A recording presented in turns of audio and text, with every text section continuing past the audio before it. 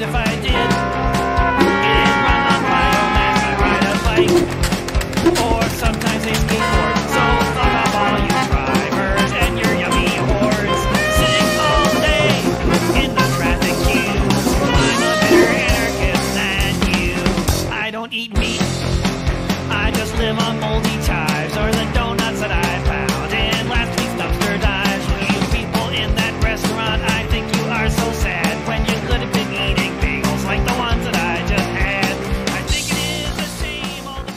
Hola, ¿qué tal a todos? Bienvenidos a un capítulo más de Pásame un libro. Esta vez estamos grabando desde la Facultad de Ciencias de la UNAM, aquí en el número cubículo 029.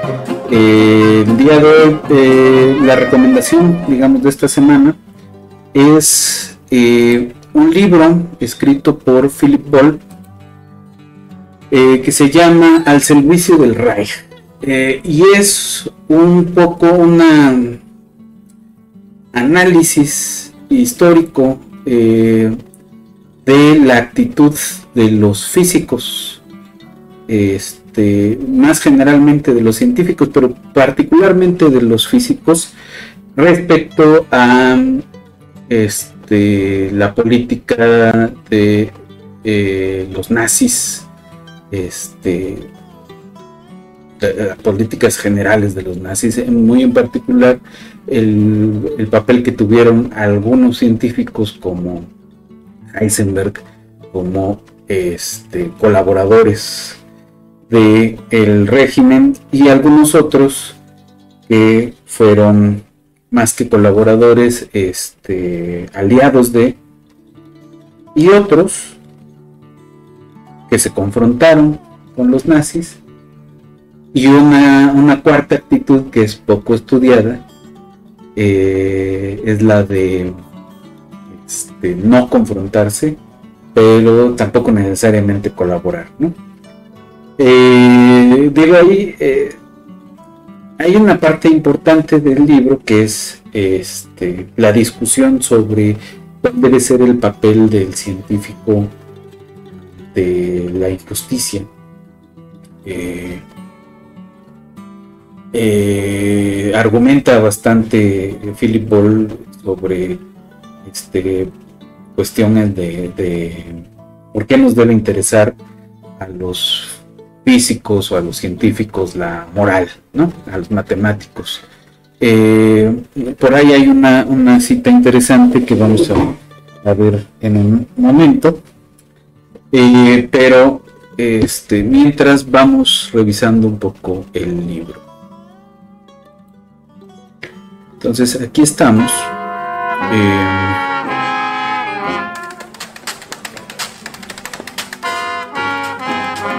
el,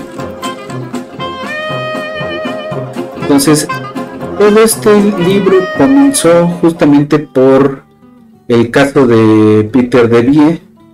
Este, él fue uno de esos físicos que le tocó vivir en, en aquel momento en, Alemania. Él no es alemán, este, no me acuerdo su nacionalidad, eh, pero él no es alemán. ¿no? Entonces él eh, en algún momento sale de, de, Alemania y se va para Estados Unidos.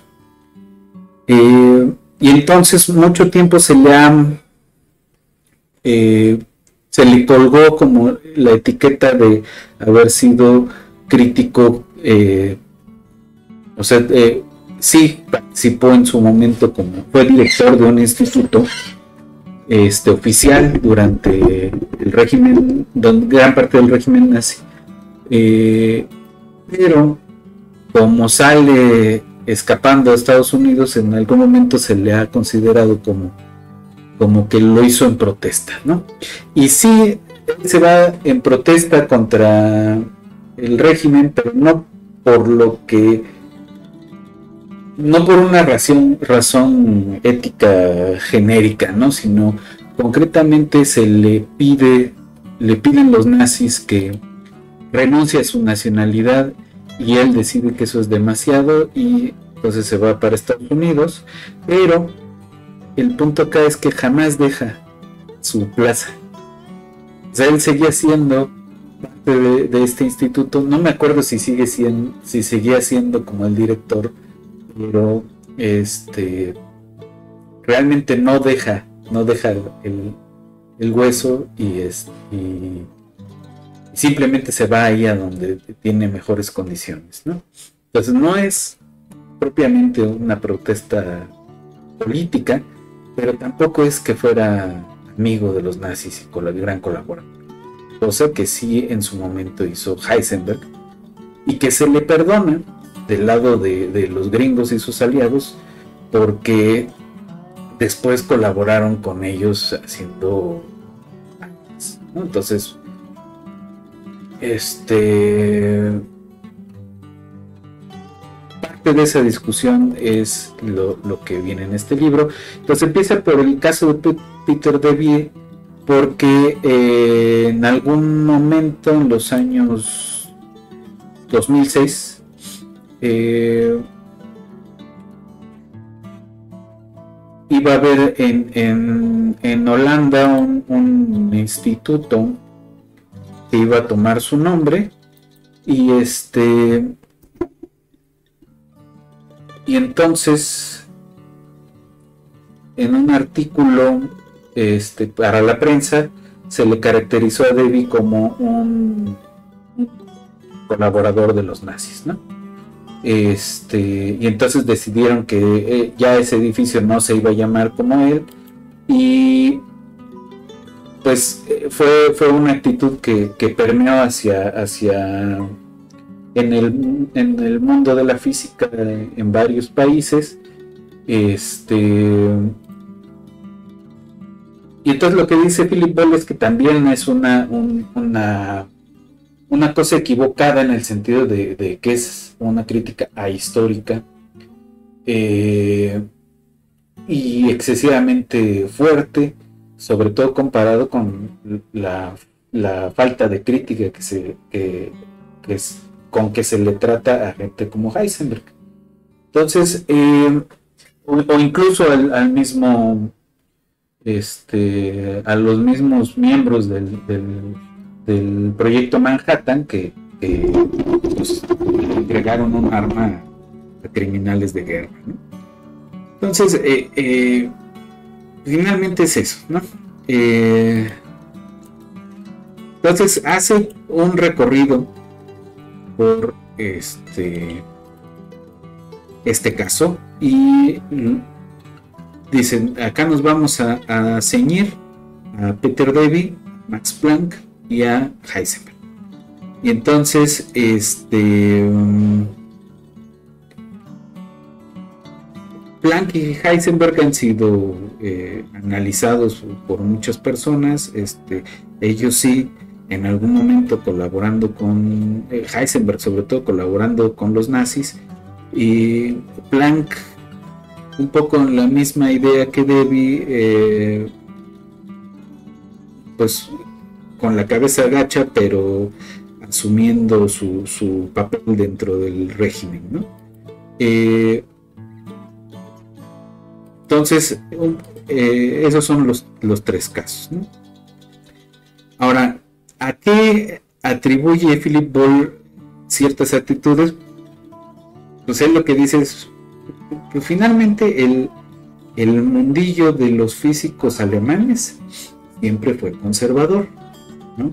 Había unos excesivamente conservadores este, que, que, fueron incluso adherentes a las plataformas nazis, pero eh, en general eran bastante conservadores y eran bastante nacionalistas, entonces no se podía esperar que este, de buenas a primeras dijeran este, o realizaran actos de desobediencia eh, que pues finalmente en todos los, este, las épocas pues siempre se han interpretado como actos de traición. Este, entonces eh, el, es en esa actitud patriotera y conservadora que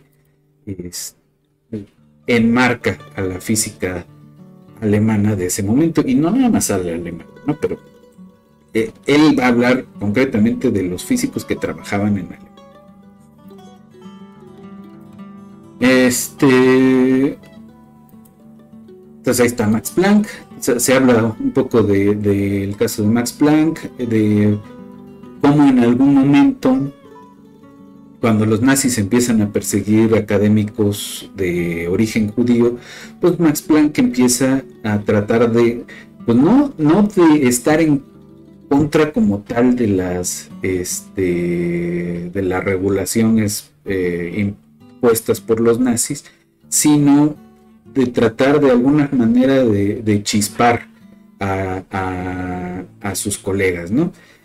Y ahí eh, es una parte que sí apuntala, este, que sí apuntala Philip Ball, dice, pues no es que los quisiera chispar por, por buena gente, sino porque eran sus colegas. Entonces siempre hay esta actitud, incluso en los que supuestamente son muy críticos del nazismo, de finalmente decir, este, pues lo que defendemos no son a los judíos en general o en abstracto, sino a nuestros colegas eh, respecto de esta regulación que consideramos que no es del todo eh, adecuada en ese sentido, ¿no? Porque decían, pues están mandando a muchos buenos académicos eh, fuera de, su trabajo y entonces eso le va a hacer falta al, campo de la física en nuestro país, ¿no? Entonces, eso, eh, el mismo argumento, digamos, en contra del, de la regulación esta que exigía quitarle su trabajo a los supuestamente de, personas supuestamente de origen judía, eh,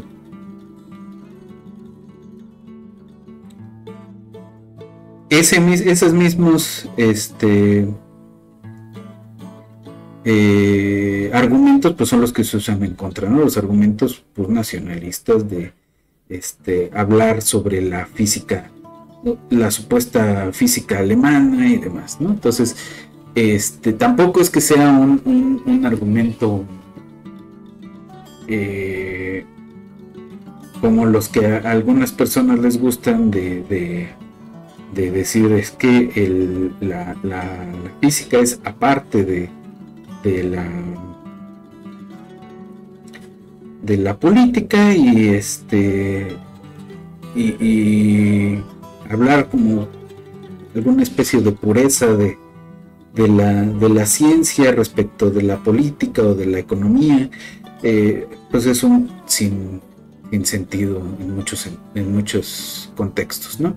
Entonces también habla de, de Philip Lenard, que era uno de esos físicos muy famosos en aquel momento, y que él sí este, era un nazi, no era solamente un colaborador, un empleado, un, que da lo bien, sino sí, y que desde el principio, incluso antes de que los nazis dijeran este, que, se, que saquen de las universidades a todos los intelectuales este, de origen judío, pues eh, él ya andaba queriendo este, cerrar algunos campos de, conocimiento porque los consideraba excesivamente judíos. Entonces, bueno. Eh, entonces, mucha parte del libro es esta discusión de, o, esta descripción de querer este, tener una especie de ciencia completamente alemana, ¿no? Eh, lo que se quiera que eso significara. Eh, y, es chistoso porque en los argumentos que usa Planck para defender a algunas personas, pues sí dice, es que estos son muy estas personas son muy convenientes para la, ciencia alemana, ¿no? Entonces, eh, la ciencia alemana a veces eh, en, algunos contextos era la ciencia que hacían los científicos alemanes, y en otros contextos podría significar cualquier cosa, ¿no? Este, los campos que está pagando los dineros alemanes, podría ser, es Peter David eh, y entonces eh, el, otro personaje pues es, Peter Debye, que fue director del Instituto de Física Kaiser Wilhelm este, en la mera época de las grandes persecuciones de los nazis. Este, y este es Werner Heisenberg, poquito antes de, esa época. Pues esta la descripción de los tres. Eh, y entonces eh, habla un poco sobre eh, estos institutos Kaiser Wilhelm, qué relación guardaban con el Estado, cuál fue su relación general con Hitler y con los nazis. Este, también, por ejemplo, dice en algún momento que realmente los nazis, así mucho caso que le hicieran a los los científicos como que no les interesaba mucho y que no fue hasta que Heisenberg les vendió la idea de que se podía eh, construir un arma con el conocimiento que se tenía de, los reactores nucleares, entonces ya les llamaba la atención, ¿no? Pero que antes de eso pues era como que no, no les ni les interesaba hacerles mucho daño, pero tampoco les interesaba este, los argumentos de Planck de que le estaban haciendo daño a la ciencia este, corriendo a, Einstein o a otras personas, ¿no? Este, o a Bohr, ¿no? Pero bueno. Eh, entonces aquí habla un poco de, de, las matemáticas y de Hilbert, este, de, Einstein, ¿no? Este, habla de las matemáticas porque justo cuando empezaron a correr a los judíos, pues este, en la Göttingen era, estaba lleno de judíos, ¿no? Entonces la pregunta era, y, bueno, ¿y qué, qué, qué, cómo, cómo está la matemática este, alemana? Pues no existe, ¿no? Porque todos se, salieron yendo hacia Estados Unidos o hacia cualquier otro lado. Eh, entonces luego habla sobre el caso de Einstein, eh, y la, este es el otro, el otro nazi que mencionan, que es yo, Johannes Stark. Este, y entonces habla sobre la actitud de Planck en el caso Einstein, cómo fue la defensa que planteó Planck, eh, que no era una defensa política, desde luego. Eh, luego, un poco sobre las propagandas nazis sobre la ciencia y el conocimiento, este rollo de, de, las ciencias arias o nórdicas o lo que sea.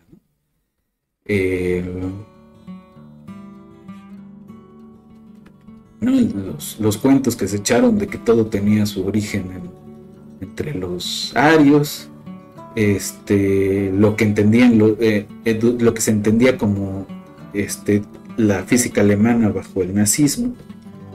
Eh,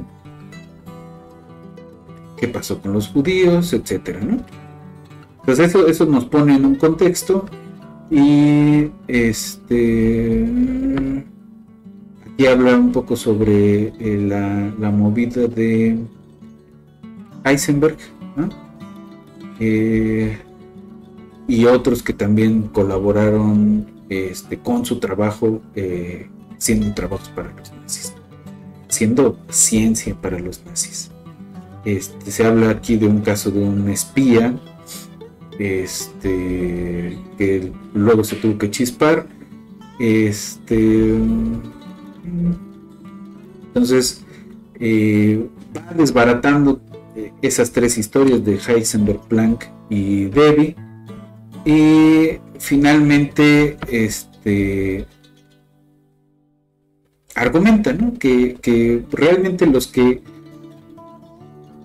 plantaron cara no son este no eran tan valientes como se quiere hacer pensar habla así este sobre la actitud de Heisenberg y otros que estuvieron asociados con él después de la guerra.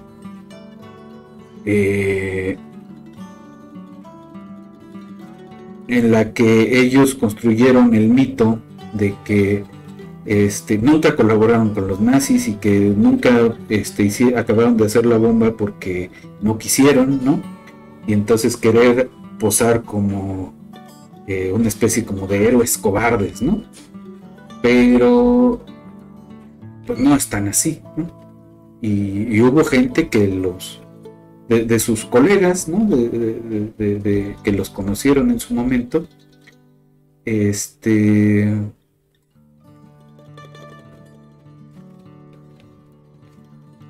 pues que los confrontaron, ¿no? Eh, y entonces finalmente en el epílogo este, esta parte que se llama Ciencia y Democracia y que habla sobre la actitud que tuvieron en este en, su momento eh, gente como Otto Hahn o como Werner Heisenberg y que este que escapan de todas formas a la, a la responsabilidad ética de, sus acciones. Entonces, esto que voy a leer es de Herbert Mertens, eh, quien argumenta que se, este, los eh, científicos pues, se adaptan a los cambios políticos y sociales mientras tengan la oportunidad de preservar su existencia, como lo hicieron en la Alemania nazi.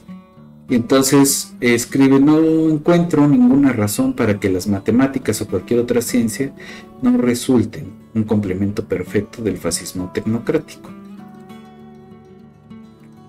La común inferencia de que un país no democrático pudiera copiar las innovaciones de Occidente, nunca igualar su creatividad científica es una ilusión arrogante. Incluso en el apogeo de la Guerra Fría, eh, cuando la opresión estatal en la Unión Soviética era más extrema que en la Alemania de la preguerra, los científicos soviéticos llevaron a cabo investigaciones científicas inventivas y eficaces. Y actualmente, los científicos chinos demuestran día a día que pese al aprendizaje memorístico del sistema educativo tradicional, las democracias no tienen el monopolio sobre la creatividad. Eh,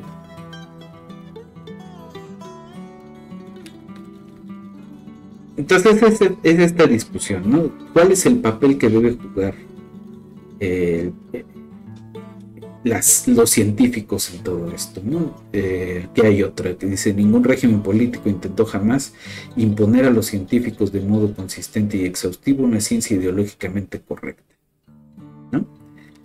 Entonces, este, pues es eso. Eh, abre una buena discusión eh, da buenos argumentos con eh, datos históricos. Entonces esta es la recomendación de la semana, échenle un ojo, estar ahí en la descripción y la próxima semana yo les echo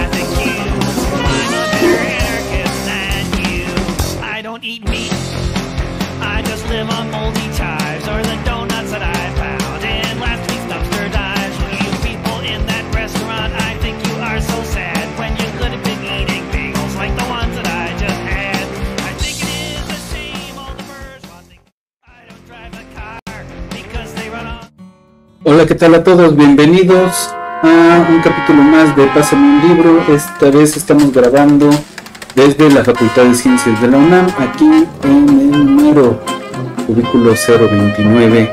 Eh, el día de hoy, eh, la recomendación, digamos, de esta semana es eh, un libro escrito por Philip Ball que se llama Al servicio del Reich.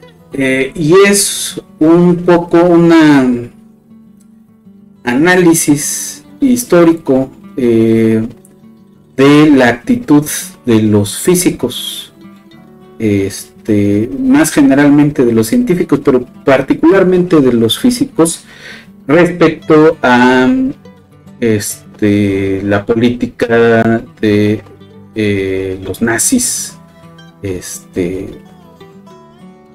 políticas generales de los nazis, muy en particular el, papel que tuvieron algunos científicos como Heisenberg como este, colaboradores del el régimen y algunos otros que fueron más que colaboradores, este, aliados de, y otros que se confrontaron con los nazis, y una, una cuarta actitud que es poco estudiada, eh, es la de este, no confrontarse, pero tampoco necesariamente colaborar. ¿no? Eh, digo ahí, eh, hay una parte importante del libro que es este, la discusión sobre cuál debe ser el papel del científico de la injusticia. Eh, argumenta bastante Philip Ball sobre este, cuestiones de, por qué nos debe interesar a los físicos o a los científicos la moral, ¿no? a los matemáticos. Eh, por ahí hay una, una, cita interesante que vamos a, a ver en un momento, eh, pero este, mientras vamos revisando un poco el libro. Entonces aquí estamos. Eh,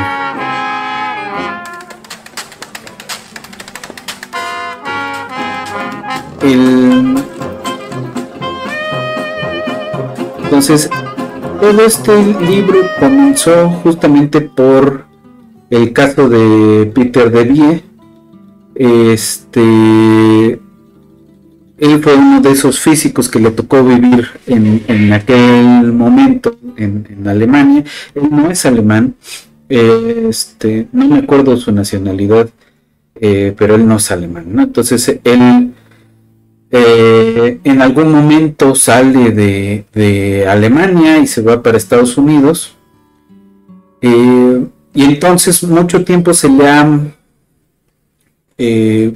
se le colgó como la etiqueta de haber sido crítico, eh, o sea, eh, sí participó en su momento como fue director de un instituto este, oficial durante el régimen, gran parte del régimen nazi, eh, pero como sale escapando a Estados Unidos, en algún momento se le ha considerado como como que lo hizo en protesta, ¿no? Y sí, se va en protesta contra el régimen, pero no por lo que, no por una razón, razón ética genérica, ¿no? Sino concretamente se le pide, le piden los nazis que renuncie a su nacionalidad y él decide que eso es demasiado y entonces se va para Estados Unidos, pero el punto acá es que jamás deja su plaza.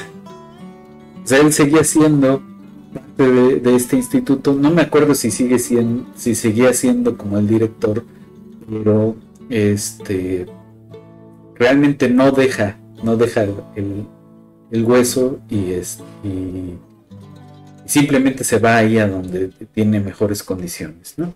Entonces no es propiamente una protesta política, pero tampoco es que fuera amigo de los nazis y con gran colaborador. Cosa que sí en su momento hizo Heisenberg y que se le perdona del lado de, de los gringos y sus aliados porque después colaboraron con ellos haciendo entonces este de esa discusión es lo, que viene en este libro. Entonces empieza por el caso de Peter Debye, porque eh, en algún momento en los años 2006 eh, iba a haber en, en, en Holanda un, un, instituto que iba a tomar su nombre y este y entonces, en un artículo este, para la prensa, se le caracterizó a Debbie como un colaborador de los nazis, ¿no? Este, y entonces decidieron que eh, ya ese edificio no se iba a llamar como él y pues eh, fue, fue una actitud que, que permeó hacia, hacia en, el, en el mundo de la física en varios países. Este, y entonces lo que dice Philip Ball es que también es una, una, una cosa equivocada en el sentido de, que es una crítica ahistórica eh, y excesivamente fuerte, sobre todo comparado con la, falta de crítica que, se, es, con que se le trata a gente como Heisenberg. Entonces, eh, o, incluso al mismo este, a los mismos miembros del, del, proyecto Manhattan que, pues, entregaron un arma a criminales de guerra. Entonces, eh, eh, finalmente es eso, ¿no? Eh, entonces hace un recorrido por este, este caso y Dicen, acá nos vamos a, ceñir a Peter Davy, Max Planck y a Heisenberg. Y entonces, este... Um, Planck y Heisenberg han sido eh, analizados por muchas personas. Este, ellos sí, en algún momento colaborando con eh, Heisenberg, sobre todo colaborando con los nazis. Y Planck un poco en la misma idea que Debbie, eh, pues con la cabeza agacha, pero asumiendo su, papel dentro del régimen. ¿no? Eh, entonces, esos son los, los tres casos. Ahora, ¿a qué atribuye Philip Ball ciertas actitudes? Pues él lo que dice es que finalmente el, el mundillo de los físicos alemanes siempre fue conservador. Había unos excesivamente conservadores este, que, fueron incluso adherentes a las plataformas nazis, pero eh, en general eran bastante conservadores y eran bastante nacionalistas, entonces no se podía esperar que este, de buenas a primeras dijeran este, o realizaran actos de desobediencia eh, que pues, finalmente en todos los, este, las épocas pues siempre se han interpretado como actos de traición este entonces eh, es en esa actitud patriotera y conservadora que enmarca a la física alemana de ese momento, y no nada más al alemán, ¿no? pero eh, él va a hablar concretamente de los físicos que trabajaban en Alemania. Este. Entonces ahí está Max Planck.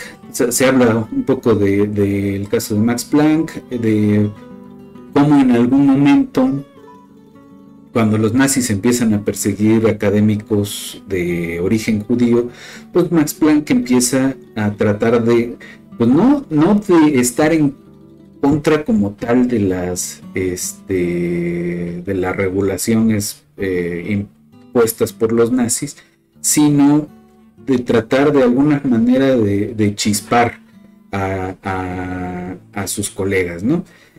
Y ahí eh, es una parte que sí apuntala, este, que sí apuntala Philip Ball. Dice, pues no es que los quisiera chispar por, por buena gente, sino porque eran sus colegas. Entonces siempre hay esta actitud, incluso en los que supuestamente son muy críticos del nazismo, de finalmente decir, este, pues lo que defendemos no son a los judíos en general o en abstracto, sino a nuestros colegas eh, respecto de esta regulación que consideramos que no es del todo eh, adecuada en ese sentido, ¿no? Porque decían, pues están mandando a muchos buenos académicos eh, fuera de, su trabajo y entonces eso le va a hacer falta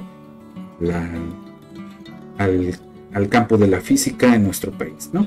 Entonces, eso, eh, el mismo argumento eh, digamos, en contra del, de la regulación esta que exigía quitarle su trabajo a los supuestamente de, personas supuestamente de origen judía, eh,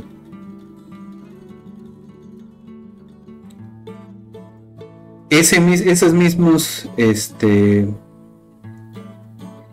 eh, argumentos pues son los que se usan en contra, ¿no? Los argumentos pues, nacionalistas de este, hablar sobre la física, la supuesta física alemana y demás, ¿no? Entonces, este, tampoco es que sea un, argumento eh, como los que a algunas personas les gustan de, decir es que la, física es aparte de, de la de la política y este y hablar como alguna especie de pureza de, de la, de la ciencia respecto de la política o de la economía, eh, pues es un sin, sentido en muchos, en muchos contextos, ¿no? Entonces también habla de, de Philip Lenard, que, era uno de esos físicos muy famosos en aquel momento, y que él sí este, era un nazi, ¿no? era solamente un colaborador, un empleado, un, lo bien, sino sí y que desde el principio, incluso antes de que los nazis dijeran este, que, se, que saquen de las universidades a todos los intelectuales este, de origen judío, pues eh, él ya andaba queriendo este, cerrar algunos campos de, conocimiento porque los consideraba excesivamente judíos. Entonces, bueno. Eh, entonces, mucha parte del libro es esta discusión de, o, esta descripción de querer este, tener una especie de ciencia completamente alemana, ¿no? Eh, lo que se quiera que eso significara.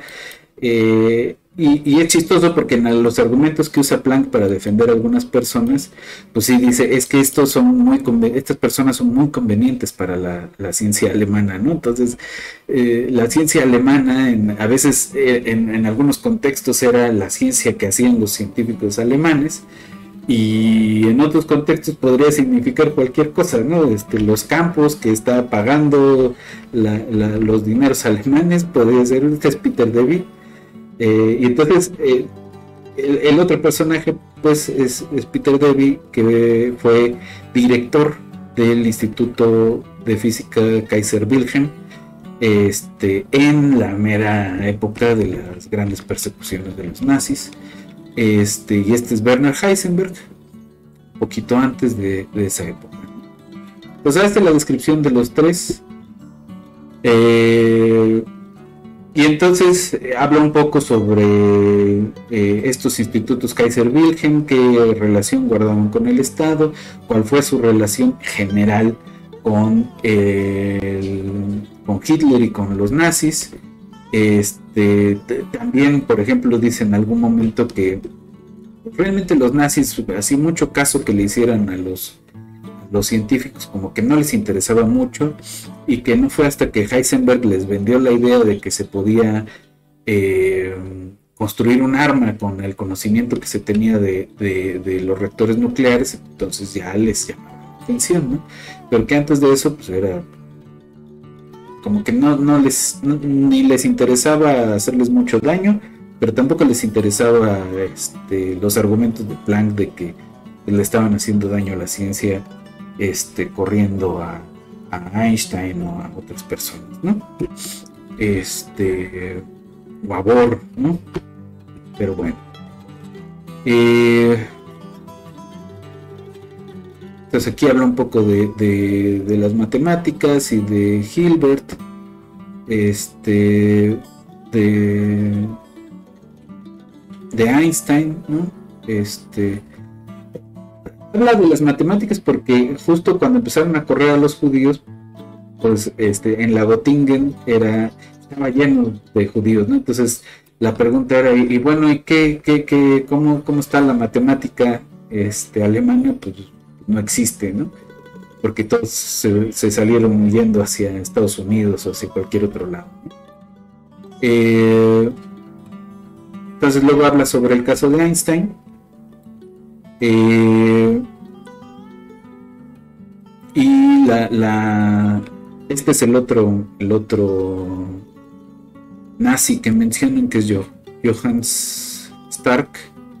Este, y entonces habla sobre la actitud de Planck en el caso Einstein, cómo fue la defensa que planteó Planck, eh, que no era una defensa política, desde luego.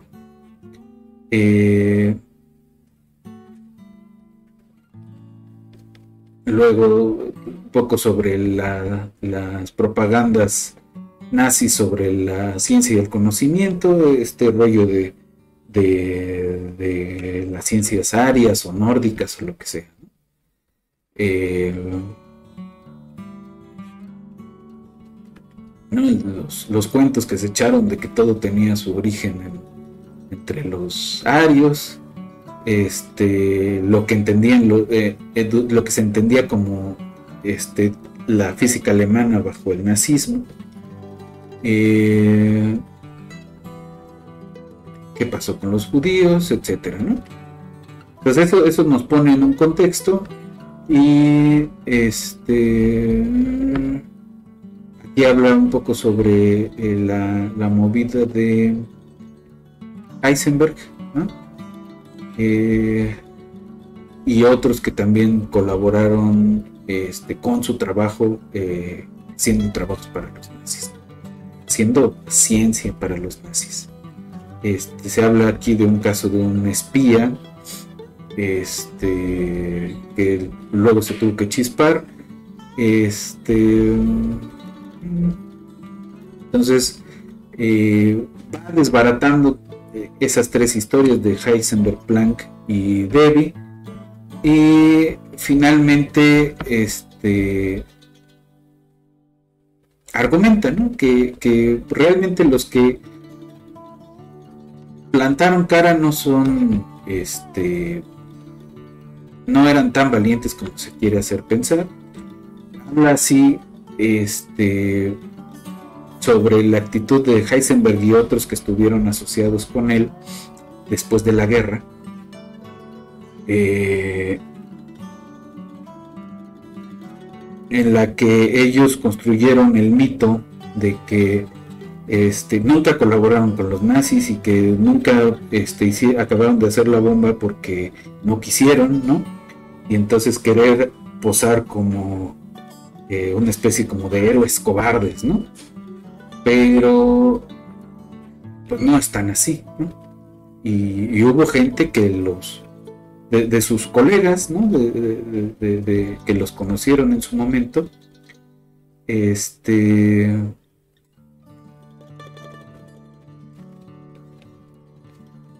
pues que los confrontaron, ¿no? Eh,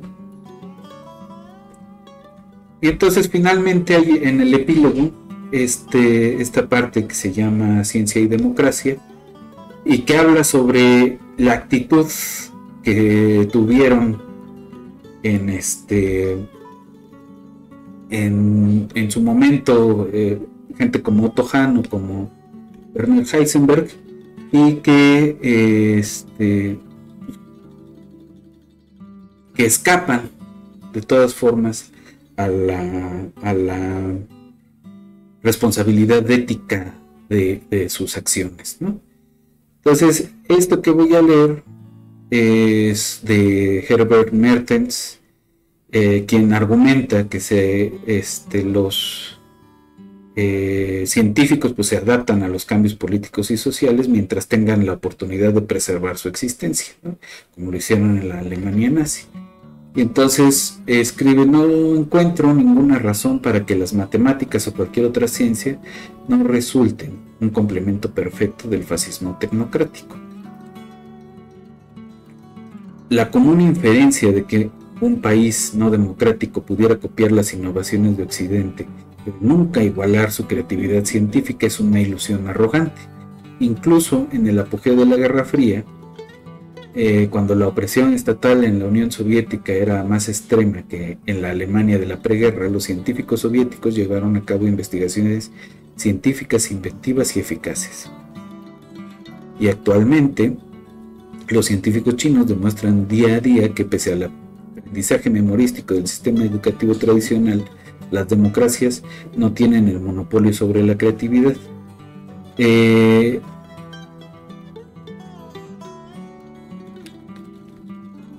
entonces es, esta discusión, ¿no? ¿Cuál es el papel que debe jugar eh, los científicos en todo esto? ¿no? Eh, hay otra que dice, ningún régimen político intentó jamás imponer a los científicos de modo consistente y exhaustivo una ciencia ideológicamente correcta.